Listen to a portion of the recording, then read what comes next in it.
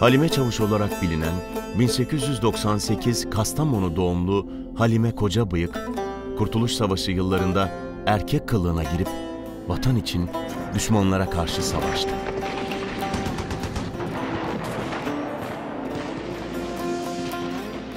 Oy oy, adam anam.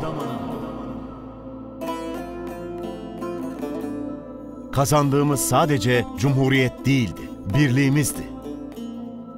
Sonradan ikilik kiri yavaş yavaş sokuldu kanımıza. Dar ağacına nice üç fidanlar gönderdik. Arkasından müjde gibi gelen darbeler. Sonra koalisyonlar, enflasyonlar, terör derken yine gelen darbeler, darbecikler.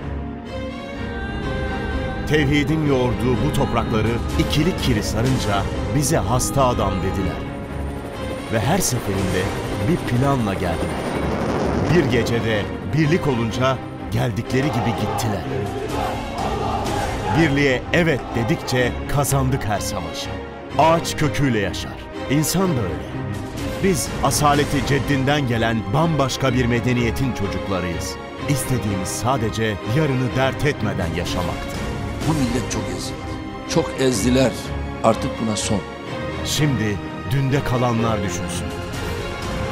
Yenilgi yenilgi büyüyen bir zafer vardır. Saatleri 100 yıl ileri almak için geleceğe cüret edin.